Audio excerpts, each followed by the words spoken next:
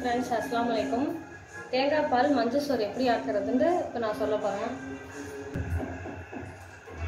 வெங்காயம்.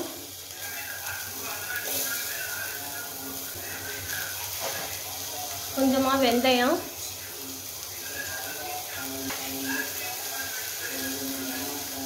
ரெண்டு பச்சை மிளகா.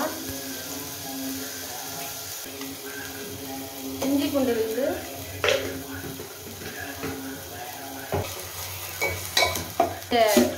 தேங்காய் பால் ரெண்டு கப்பு ஊற்றுறேன்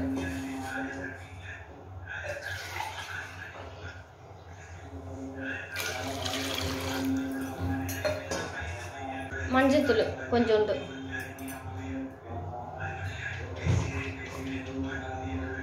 கொஞ்சோண்டு கருவேப்பிலை. இந்த தேங்காய் பால் கொதி வர்றதுக்கு முன்னாடி அரிசியை போட்டுருணும் இல்லாட்டி பால் முறிஞ்சிச்சுன்னா சாப்பாடு நல்லா இருக்காது.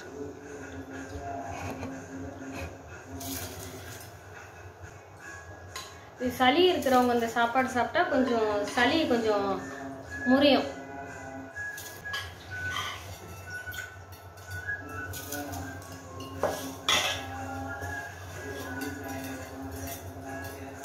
கொஞ்சோண்டு உப்பு.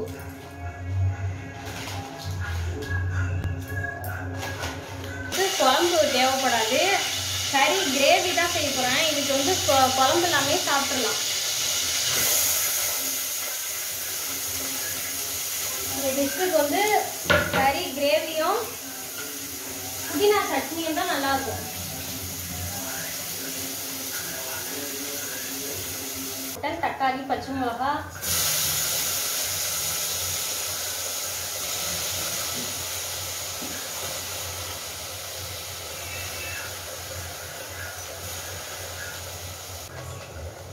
மிளகாத்தூள் கொஞ்சோண்டு தூள் மிளகுத்தூள் ஜீரகம் ரெண்டையும் ஒன்றா போட்டுருக்கேன்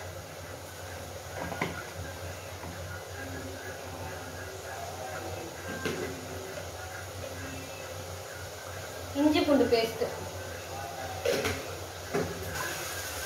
இஞ்சி பூண்டு பேஸ்ட்டு போட்டு ஒரு கறி.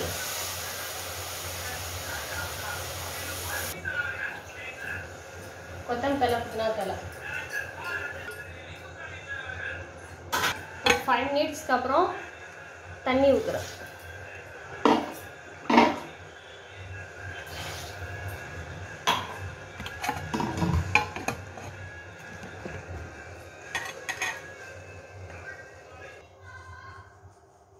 சோறு தம்மு போட்டு முடிஞ்சிருச்சு.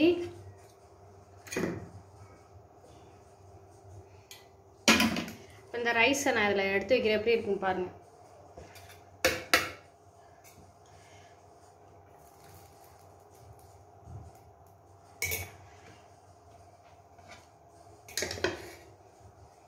இந்த கொத்தமத்தலை புதினா சட்னி கிரேவி கறி கிரேவி இது ரெண்டும் இருந்தால் சூப்பராக இருக்கும்.